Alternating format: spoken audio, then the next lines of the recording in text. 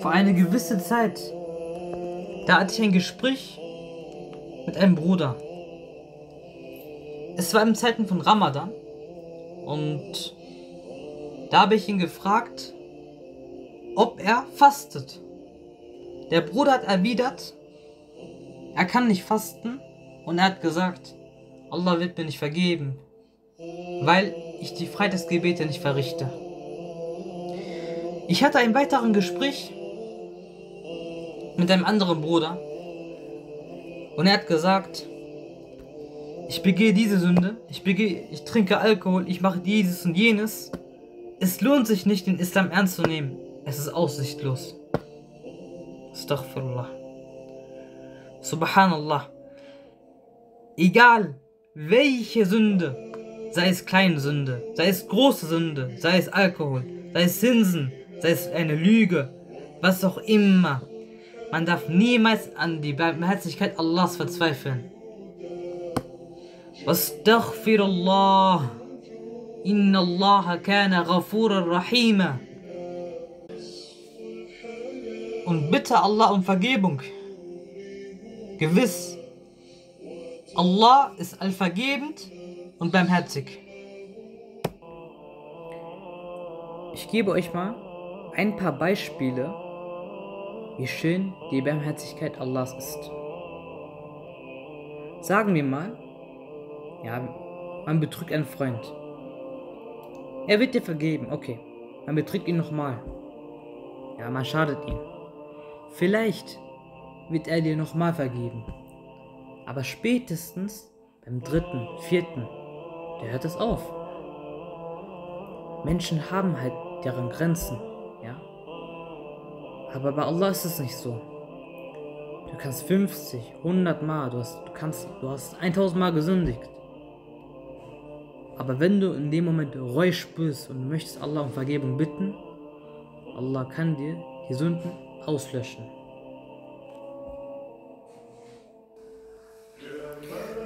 Ich gebe euch mal ein weiteres Beispiel.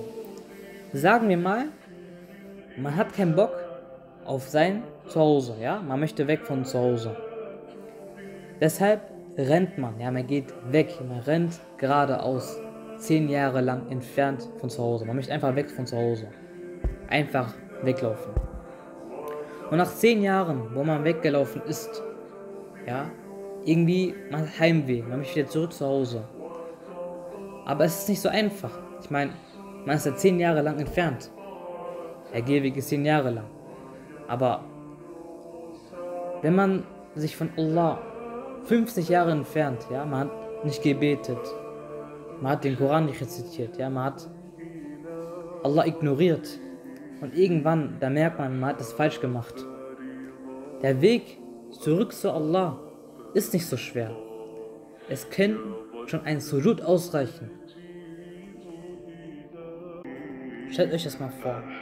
Man hat 50 Jahre lang gesündigt. Man hat sich 50 Jahre lang von Allah entfernt. Man hat ihn 50 Jahre lang ignoriert. Man hat die Gebete nicht ernst genommen. Man hat Allah nicht ernst genommen. 50 Jahre lang oder noch mehr. Und irgendwann, man möchte Allah um Vergebung bitten. Da sagt man, Ja Rabb, bitte vergib mir, Ya Allah. Und Allah hört dich schon sofort zu. Subhanallah. Meine lieben Brüder, eine letzte Nachricht. Wenn ihr sündigt, dann heißt das nicht, dass ihr nicht zur Moschee dürft. Ihr dürft nicht sagen, ich kann nicht zur Moschee, weil ich diese oder jene Sünde gemacht habe. Subhanallah, ihr gehört doch zur Moschee. Masjid ist doch der Ort, wo man sich verändert. Ich meine, erst recht, wenn man sündigt, dann sollte man doch danach an Allah gedenken und Allah um Vergebung bitten. Denn der Prophet Muhammad sallallahu sagte, alle Kinder Adams gehen ständig fehl. Doch die besten derjenigen, die ständig fehlgehen, sind diejenigen, die ständig bereuen.